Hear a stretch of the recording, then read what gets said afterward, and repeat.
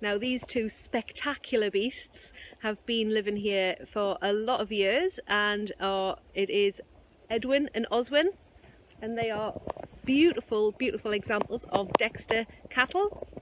And you'll see that they've got their fine winter coats at this time of year to keep them lovely and warm.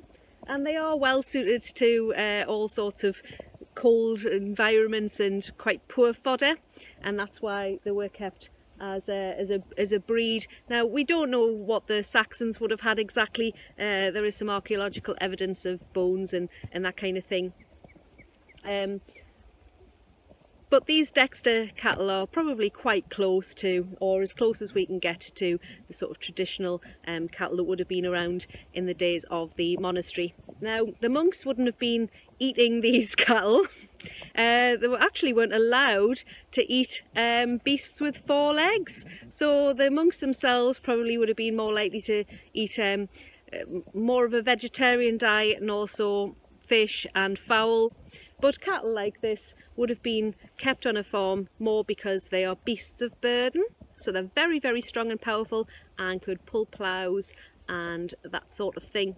And they are still are used, cattle are still used as the as beasts of burden in many parts of the world today, uh, just depending what the what the fodder is. But this is Edwin and Oswin, who are Dexter cattle. The breed is known um, from Ireland where the they would survive and, and thrive and do really really well um, on the poor uh, pasture in that part of the world and so they've been they were bred over the years to be quite small because obviously the smaller you are the less food that you need to consume anyway I'm going to go and visit our other two cattle now and you can see the contrast with them right these are our other two Dexter cattle and this is Chad and Wilf and they are absolutely beautiful. I just think that they've got the most beautiful faces. Have a little bit of a look at you.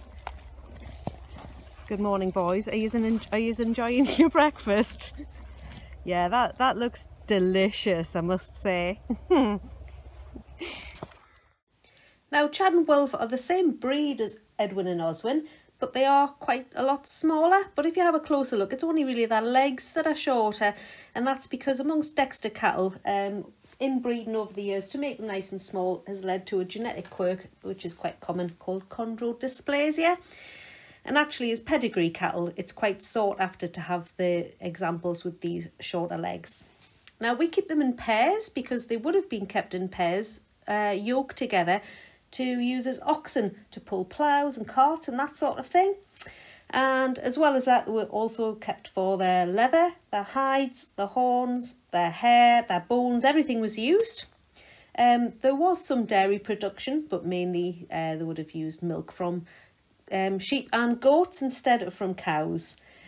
Now, one of the other reasons why the monastery would have kept cattle was for their calf skins for the production of vellum now, Monk Wearmouth Jarrow was quite famous for producing uh, documents and books, including the Codex Amiatinus. Now, we have a copy of this ancient Bible in our museum here, um, and it's estimated that originally it would have taken approximately 500 calf skins to produce one of these big Bibles, and they made three in the times of Monk Wearmouth and Jarrow. One for Monk Wearmouth, one for Jarrow, and one that was on its way to the Pope in, in uh, Italy.